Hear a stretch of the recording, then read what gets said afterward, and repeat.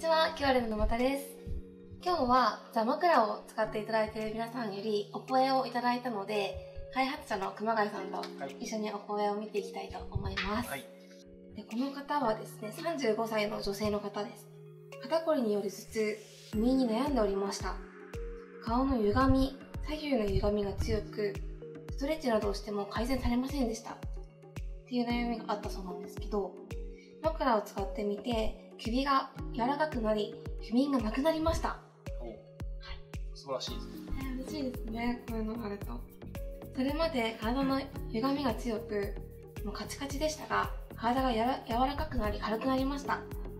起きた時に硬さがなくなって柔らかくなっているのが一番感動しました。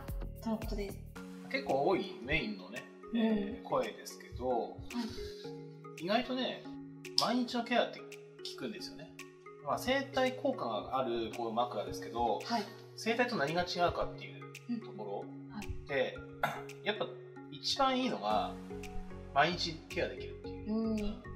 でやっぱりこう溜め込んでケアするのもまあまあね効果的ではあるけども、はいやっぱり一番こう毎日体って負担かかってくるので、それをねこういうふうにこう枕がケアしてくれるっていうのは、大きいこう汚れをゴシゴシやるのもこうちっちゃいね、えーちょっとあれ汚れてるかなみたいな感じですって拭くのってどっちが楽かって言ったら毎日こうね掃除した方が絶対うん。綺麗な状態保てるので、はい。まあ、それと同じで大変なこう症状とかをこう週1とか何回もこうね週1とかでこう取っていくよりも毎日ちょっとずつこう、ね、良くしていくっていう毎日掃除することで改善できるっていうところの効果としてはかなりこういい形で声かなうん。という感じしますね、はい。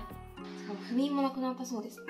まあ、不眠自体が枕が原因ということはありますからねうん。循環良くなって不眠が良くなったっていうケースもあるしはい。あとは枕が逆に邪魔して不眠になってたみたいなうんうんこともあるんで、はい意外とねそういうふうな二軸なところからも起こってくる可能性ありますよね。